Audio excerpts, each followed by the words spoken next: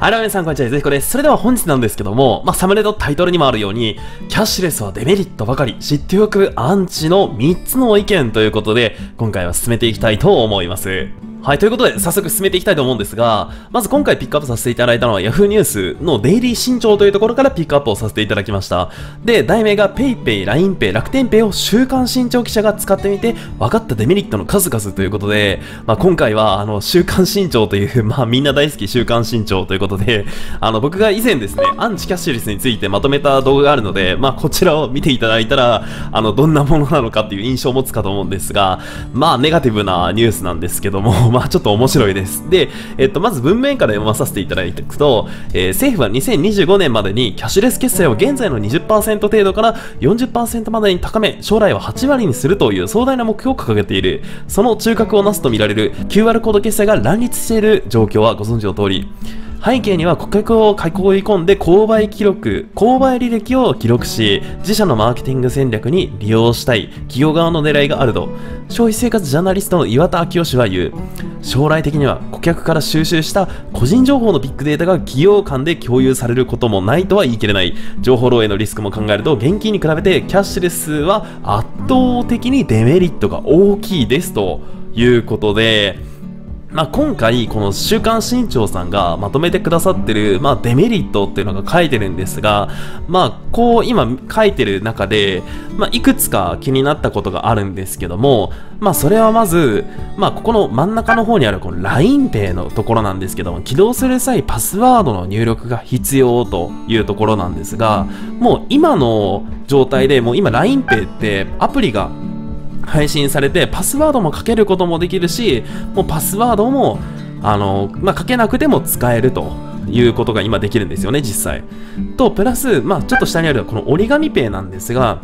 まあ、他社と比較して加盟店舗が少なく、地方では使いにくいというところもあるんですが、現在は結構店舗もまあ増えてきたりしてるんで、そんなに困ることはないのかなっていうふうには印象は持ってます。で、ここからわかることとしたら、まあ実際にアプリも、まあいろんな、や PayPay とか LINE、楽天ペイとかいろいろ書いてるんですが、アプリもこうアップデートされてきたりとか、利用店舗は今は少ないと思うんですけども、まだまだ今競争は激化してるんで、まあここに関しては利用店舗も増える可能性もあるし、なおかつ、あの、アプリもアップデートされるので、機能的にはそんなに困ることは、まあ今は困っても、まあ、もちろんそれは会社、企業側めちゃめちゃ頑張ると思うんで、まあ、まあ、ここに関しては、ぶっちゃけ、まあ、待ってたら、まあ、企業も努力して、まあ、そこはアップデートされる可能性はあるのではないのかなというふうに僕は思いました。で、次、こちら、共通するデメリットということで、まず一番上、えー、利用者が QR コードを読み取る場合、金額も自分で入力するっていう、いや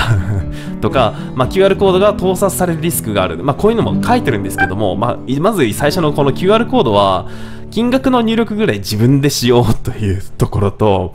あとは、この QR コードが盗撮されるリスクがあるっていうのは、ここはまた面白くて、あの、PayPay とか LINEPay 開いてもらったらわかるんですけども、QR コードとか盗撮をされても実際こう5分後とかに更新されるんで、あの、もうその5分後には自分の新しい QR コードが出てるんですよね。なので、盗撮をされても、あの、別に悪用されないっていう可能性は正直高いんですよね。オリガインペイとかも、あの、毎回開くたびに QR コードとか、あの、バーコードが違うんで、まあそこは企業側も考えてるなっていうっていう。で、電波状況が悪い場所では使えないって書いてるんですが、まあ、ぶっちゃけその電波状況が悪い場所にの店舗には、その機械自体置いてないんじゃないかなっていう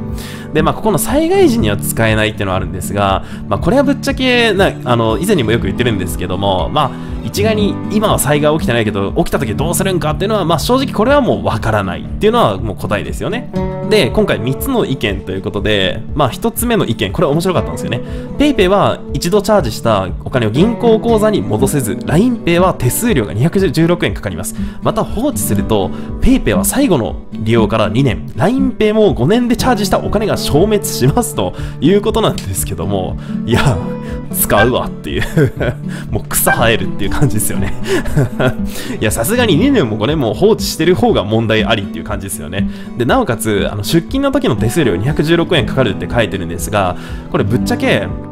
あの、正直 LINEPay とかにチャージして出勤する方がもったいないんですよね。LINEPay で買い物した方が、まあ、今の場合キャンペーンとかもあるんで、見返りがちょっとでも、まあ、LINEPay はお買い物してもポイントが入ってくるんで、ぶっちゃけ出勤はしない方がいいのかなと思います。なので、出勤の手数料が216円がこまこま言ってると、いやいや、そこに出勤するあのメリットはどこにあるのっていうのを逆に僕は聞きたくなりましたね。で、次2番。えー、一方、本誌編集部の、えー、男性記者は再び20%還元キャンペーン中の PayPay を使って1ヶ月で6000円得したがと息巻くがキャンペーンも第2弾はすでに知名度上昇に成功したした後だったので買い物1回あたりの還元額の、えー、上限が1000円に対したことない。それに加入者を増やすためのこうした還元キャンペーンが今後も行われる保証はありませんということで、いやーもうそれは企業側もさすがに考えてるだろうということで、僕の動画でも一回紹介をさせていただいたんですけども、こちらなんですが、あの、PayPay はもうすでに6月からワクワクキャンペーンっていう、また新たなキャンペーンが始まるとしてるんですよね。いや、さすがに企業側もバカじゃないんで、まあ、そこら辺のことは考えてるだろうっていう、そこでユーザーを逃がしたらもう最も子もないんで、まあ何かしらキャンペーンは変わるかもしれないんですけども、形として。ですけども、やっぱり利用者は逃がさないためにもいろんなあの工夫をなのしていくのではないのかなと思います。なので、あまりこれに関してはネガティブな印象は僕は全然持ってはないですね。むしろ結構楽しみっていう。で、次3番目。えー、銀行の金利が0.001%の時代に、その何十倍ものポイントが還元されるのは、事業者側に顧客を囲い込みたいという狙いがあるから、結果必要のないものまで買ってしまいがちなので、要注意ですっていう 必要のないものまで買ってしまいがちなので要注意ですっていう いや、これはもう個人の問題になってきますよね。しかもこれキャッシュレスに限らず、現金でもいっぱい持ってたらそれは使うだろうっていうなので、これはあの個人の危機管理の問題になってるんで、これ危機管理というかあれですね、あの個人の自己管理っていうんですかね。あの、金銭感覚とかの問題になるんで、別に必要のないものまで買う必要は全然ないんで、あの、まあ、ここは正直あんまり、あの、意味のない意見だなと思ったんですけど、さすがにちょっと笑っちゃいましたね。無理あるだろうっていう。はい、ということでいかがだったでしょうか？本日は、まあ、アンチキャッシュレスの、まあ、3つの意見ということなんですけども、まあ、それぞれ、まあ、意見とか、まあ、アンチの人は絶対いるとは思うんですが、まあ、僕はもう全然キャッシュレス推進派なので、まあ、これからも、まあ、キャッシュレスについては、まあ、わかりやすく、あの、簡単に伝えていこうかなと思うんで、まあ、これからも役立つ情報っていうのをこれからもお伝えしていこうかなと思います。ということで、本日の動画がいいなと思ったら、グッドボタン、あとはチャンネル登録、あとツイッターもしてますんで、ツイッターのフォローなどしていただくと嬉しいです。ということで、本日はご視聴どうもありがとうございました。